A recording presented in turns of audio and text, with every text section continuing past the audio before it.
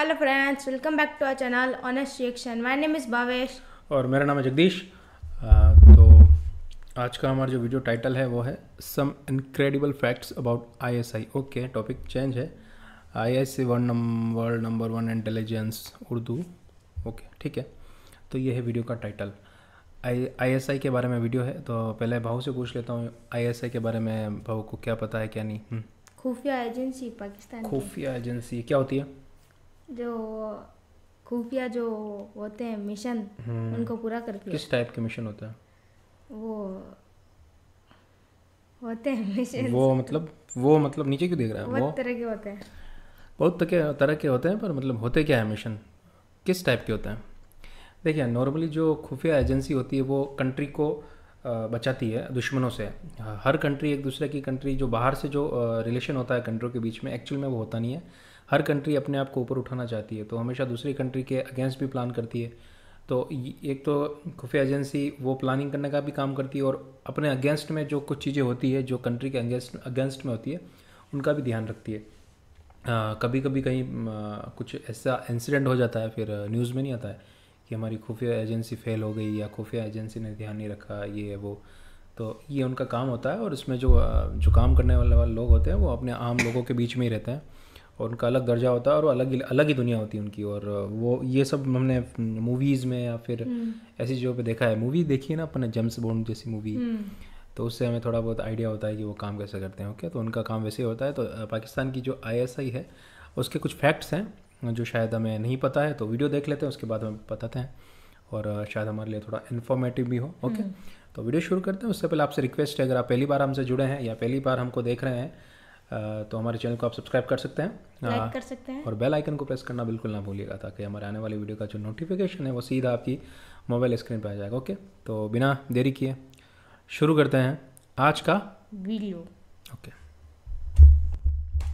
खुद नजरात वैसे तो दुनिया में तकरीबन एक सौ सतानवे ममालिक मौजूद है और इन ममालिक में से बीस ममालिक के पास बेहतरीन खुफिया एजेंसीज मौजूद है। लेकिन आखिर ऐसी कौन सी वजूहत है जिसकी बिना पर दुनिया आई एस आई को दुनिया की बेहतरीन खुफिया एजेंसी तस्वुर करती है? नज़र मोहतरम, आज की वीडियो में हम आपको चंद हक पूरे सबूत के साथ दिखाएँगे, जिसके बाद बहीज पाकिस्तानी आप अल्लाह तला का शुक्र अदा करेंगे की वतन अज़ीज़ की दिफा की आखिरी लकीर आई एस आई कितनी मज़बूत और ताकतवर है। और किस बिना पर आई एस आई सी आई ए और रा और मुसाद जैसे अरबों डॉलर बजट रखने वाली खुफिया इदारों के लिए दर्द सर बन चुकी है। नज़र मोहतरम, अक्सर अवकात हमारी कुछ नादान दोस्त ये सवाल करते हैं कि आखिर आई एस आई ने मुसलमानों के लिए और खासकर पाकिस्तान के लिए क्या किया? दोस्तों, इस हवाले से भी आपको तफसील से आगाह किया जाएगा, लेकिन सबसे पहले बात करते हैं कि आई एस आई को दुनिया की बेहतरीन और नंबर वन एजेंसी क्यों मानी जाती है? नज़र मोहतरम, इन वजूहत में सबसे बड़ी वजह यह है कि आई एस आई की किसी गुमनाम सिपाही ने आज तक गद्दारी नहीं की और न ही पैसों की खातिर मुल्क और कौम के खुफिया राज दूसरी एजेंसियों को दिए। नज़र मोहतरम, इसके अलावा सी आई ए और मुसाद को सालाना अरबों डॉलर की फंडिंग होती है, लेकिन बावजूद इसके इनके एजेंट्स अक्सर औकात अपने मिशन में नाकाम हो जाते हैं, जबकि इसके बरक्स आई एस आई इंतहाई कलील बजट के साथ अपने मिशन में कभी नाकाम नहीं हुई। नज़र मोहतरम, इस बात का इतराफ रूसी जनरल बारहा कर चुके हैं की आई एस आई एक ऐसा खतरनाक और मनसूबा साज खुफिया इदारा है, जिनके एजेंट्स ना तो बिकते हैं और ना ही इनका सुराग आसानी से लगाया जा सकता है। नज़र मोहतरम, दुनिया आई एस आई को बेहतरीन खुफिया एजेंसी तब मानने लगी जब रूस ने अफ़गानिस्तान पर हमला करके पाकिस्तान की गर्म पानी तक रसाई हासिल करने की कोशिश की। ऐसे संगीन हालात में न सिर्फ़ आई एस आई ने रूस का मुकाबला किया, बल्कि इंतहाई नामसाइद हालात में अपना एटमी प्रोग्राम भी कामयाबी से मुकम्मल किया। दोस्तों एटम बम बनाना कोई बच्चों का खेल नहीं, और खासकर जब रूस जैसा खतरनाक मगरमच्छ आँगन में मौजूद हो आई एस आई ने न सिर्फ़ इस बड़े मगरमच्छ को गले से पकड़कर इसको सांस लेने से रोका, बल्कि साथ में इंतहाई तहमुल के साथ पाकिस्तान को एटमी पावर भी बनाया। नज़र मोहतरम, उस वक्त पाकिस्तान इंतहाई हसास दौर से गुजर रहा था, क्योंकि एक तरफ़ दुनिया का सुपर पावर मुल्क पाकिस्तान की बॉर्डर पर मौजूद था तो दूसरी तरफ़ अमरीका और पूरी दुनिया की नज़रें वतन अज़ीज़ पाकिस्तान पर मरकूज थी, और दूसरी तरफ़ इंडिया का एटमी प्रोग्राम मुकम्मल होने के आखिरी मराहल में था और इंडिया इसी सोच में था कि जल्द अज जल्द एटमी धमाके करके पाकिस्तान को दोबारा से अपनी गुलामी में झकड़ा जाए। नज़र मोहतरम, अगरची कुछ गद्दार वतन ये सवाल उठाते हैं कि आई एस आई और पाक फौज ने मुल्क के लिए क्या किया? तो इसका जवाब उन रूसी जर्नलों के पास है जिनकी मातों पर आई एस आई ने ऐसी कारी जरबे लगाई है जिनकी चीखें आज भी आसमान को पहुँच रही है। इसलिए तो जब अमरीका ने अफ़गानिस्तान पर हमला किया तो रूसी जर्नल ने कहा था कि अमरीका वही गलती दोहरा रहा है जो रूस ने की थी। अमेरिका कभी अफ़गानिस्तान में आई एस आई के होते हुए कामयाबी हासिल न कर सकेगा और अमेरिका का हशर रूस से भी ज़्यादा बदतर होगा। दोस्तों, अगरचे आई एस आई ने अमेरिका की मदद से रूस को शिकस्त दी और इस जंग में तालिबान मुजाहिदीन का भी बड़ा किरदार था, जिनके बगैर इस जंग को जीतना नामुमकिन था। लेकिन सोचने की बात यह है की इन्हीं तालिबान को मुनजम करना आई एस आई के अलावा कौन कर सकता था। और अब अमरीका ही की मदद से आई एस आई ने अमरीका को शिकस्त देकर अमरीका और इसके इतिहादियों को हैरान और परेशान कर दिया है। और अब अमरीका चीखता चिल्ला रहा है और पाकिस्तान के सामने घुटने टेक चुका है कि खुदारा हमारी मुजाकरात तालिबान से कराई जाए। नज़र मोहतरम आप इंटरनेट पर सर्च करके देख ले रशियन मीडिया अबाउट आईएसआई तब आपको अंदाज़ा हो जाएगा कि ये लोग हमारे फौज और आईएसआई से कितने डरे और सहमे हुए हैं। और क्यों अमरीका अपने इतिहादियों समेत, जिनके पास दुनिया के बेहतरीन हथियार और फौज मौजूद है, छोटे से मुल्क पाकिस्तान पर हमला नहीं कर सकता? क्योंकि इन बुजदिलों को मालूम है कि ये जंग आईएसआई के साथ नहीं, बल्कि 22 करोड़ आवाम की जंग है, इस्लाम की जंग है। नज़र मोहतरम रूस का इरादा था कि वो एक हफ़्ते के अंदर अंदर अफ़गानिस्तान में अपना सेटअप करके पाकिस्तान को चिवेंटी की तरह मसल देगा। लेकिन बदकिस्मती से वही अफ़गानिस्तान इन हवारियों का कब्रिस्तान बन गया। नज़र मोहतरम, इसके अलावा आई एस आई दुनिया का वाहिद इदारा है, जिसमें कोई डबल एजेंट मौजूद नहीं और इंतहाई कम पैसों पर खतरनाक मिशन के लिए तैयार होते हैं। नजरात दुनिया में सबसे ज़्यादा सुसाइड रॉ और सी आई ए के एजेंट्स करते हैं, क्योंकि ये बेगुनाह लोगों को मारते हैं और इनके साथ जुलम करते हैं। इसलिए दौरान मिशन जहनी तोजुन खराब होने की वजह से अपने साथी को मार देते हैं या खुदकुशी करते हैं।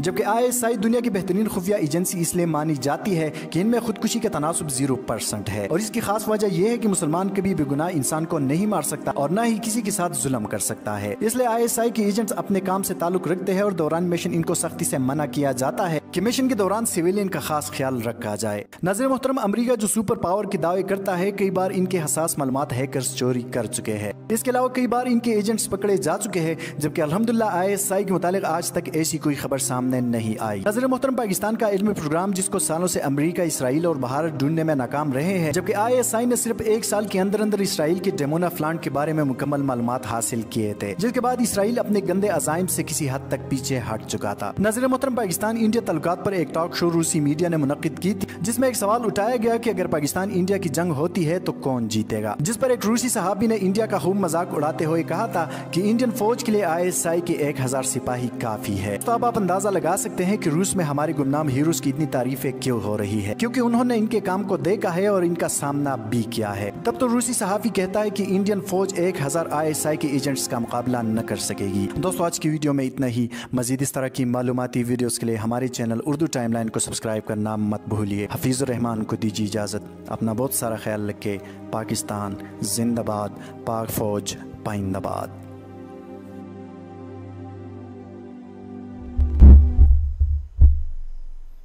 हम्म ओके। तो ये ऐसे के बारे में था? हाँ भाऊ क्या बोलना? इन्होंने लगभग पूरी स्टोरी टाइप बताया इन्होंने। हम्म। इन्होंने बताया कि जो पहले रूस थी उसके साथ रूस थी। रूस रूस की रूस तो थी। रशिया थी। रशिया थी। रूस था ना कंट्री है ना? हाँ। कंट्री थी कंट्री थी हाँ तो उसके साथ आईएसए का मुकाबला हुआ था। तो हम्म। उसमें आईएसए जीती थी फिर रूस ने हम्म। कहा था। इन्होंने बताया वही। हम्म, और फिर ऑस्ट्रेलिया से ऑस्ट्रेलिया के यूएसए भी यूएसए से भी जीत गए थे। और इनके जो क्या क्या बोलते हैं? एजेंट है। हम्म। वो किसी भी पर्सन को वो हानि नहीं पहुंचाते हैं। हम्म। हम्म, और? और और बस। देखिए इन्होंने फैक्ट्स बताए उसमें से सबसे पहले तो उन्होंने ये बात सही बताई कि जो रशिया था उन्होंने अफ़गानिस्तान को कैप्चर किया था। उसके बाद रशिया ने अफ़गानिस्तान छोड़ा ही नहीं बल्कि रशिया पूरा टूट गया था। रशिया पूरा टूट गया था। सिक्सटीन डिफरेंट कंट्रीज़ में डिवाइड हो गया था रशिया। पूरा जो सोवियत यूनियन था वो। उसमें रशिया भी सबसे बड़ा कंट्री है, उसके बाद कजाकिस्तान और बहुत जैसे कि अभी यूक्रेन है।